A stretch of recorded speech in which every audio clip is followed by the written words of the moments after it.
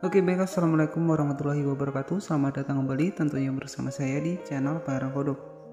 Oke pada kesempatan kali ini kita akan bahas cara melihat URL dari blog sendiri ya. Jadi uh, website menggunakan blogspot ya teman-teman.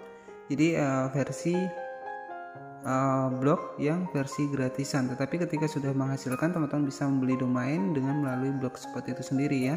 Oke jadi di sini kita langsung saja cara melihat untuk alamat dari website kita sendiri di sini kita langsung saja masuk ke aplikasi Google Chrome. Kemudian kita ketikkan saja Oke, kita ketikkan saja dengan kata kunci blogger otomatis kita akan langsung masuk ke dalam website kita.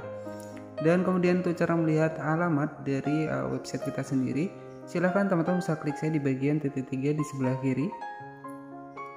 Oke, setelah seperti ini silahkan teman-teman bisa scroll ke bawah dan kita klik di bagian menu yang paling bawah ya. Jadi di bagian menu paling bawah di situ ada yang namanya adalah menu lihat blog ya. Nah, di sini kita klik saya di bagian lihat blog. Oke, jadi untuk alamat dari website yang kita miliki ataupun alamat utama untuk website kita itu yang berada di atas, teman-teman ya. Oke, jadi inilah alamat dari website kita. Jadi ini alamat utama. Untuk cara uh, mengambilnya, kita tinggal salin saja seperti ini. Setelah kita salin, teman-teman bisa share saja ke sosial media yang teman-teman miliki untuk menambah traffic dari uh, website teman-teman ya ataupun teman-teman bisa mendapatkan traffic di Pinterest ya agar website kita juga memiliki traffic yang banyak ya jadi teman-teman bisa di share saja ke Pinterest ataupun ke sosial media yang teman-teman miliki Oke, jadi cukup mudah ya untuk mengetahui alamat dari website kita sendiri, yaitu alamat utamanya, yaitu yang berada di atas di sini ya. Tinggal kita salin seperti ini, kemudian kita bisa share saja ke sosial media yang teman-teman miliki. Oke, jadi cukup seperti itu saja untuk cara melihat uh, website ataupun link dari uh, website kita sendiri. Kemudian di sini uh, ada postingan ya. Jadi untuk uh, melihat dari URL dari postingan silahkan teman-teman bisa klik saya di bagian titik tiga. Kemudian kita salin.